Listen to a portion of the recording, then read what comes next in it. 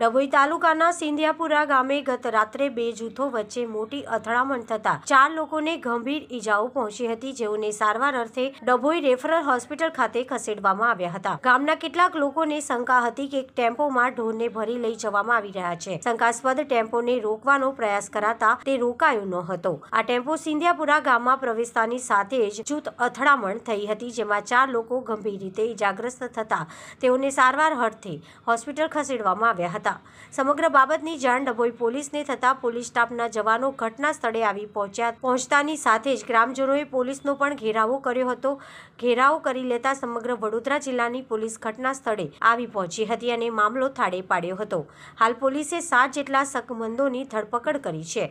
હાલ સમગ્ર ગામ પોલીસ છાવણીમાં ફેરવી નાખવામાં આવ્યું છે. હાલ પોલીસે સાત જેટલા શકમંદોની ધરપકડ કરીને તેઓના વિરુદ્ધ ગુનો દાખલ કર્યો છે.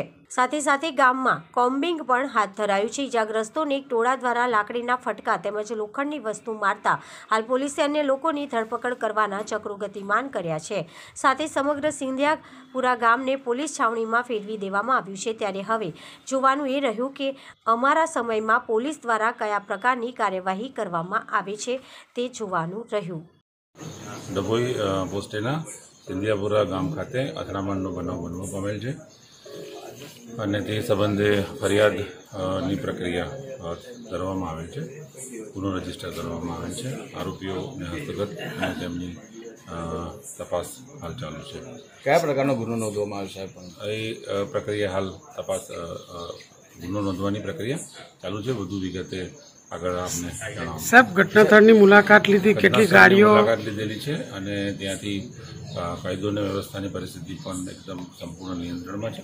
કેટલું ગાડીઓને નુકસાન? તે તપાસની સપાટી પર આવતા આપને જણાવવામાં આવશે. સાહેબ આ તમામ જે વિગત